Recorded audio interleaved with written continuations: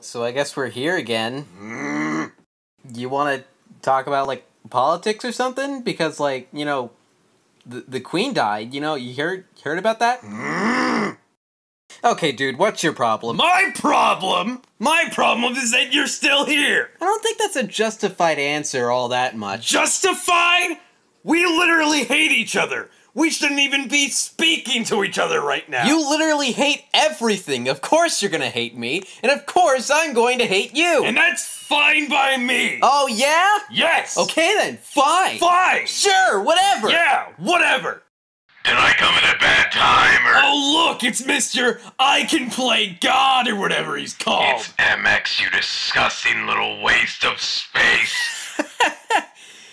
MX. What kind of stupid name is that? You know, now that I think about it, that is kind of a stupid name. You dare insult me? Easy there, Greasy. With your voice sounding like an Xbox mic, you might top out. You listen here, you pesky little rodent. I can literally behead you in five seconds.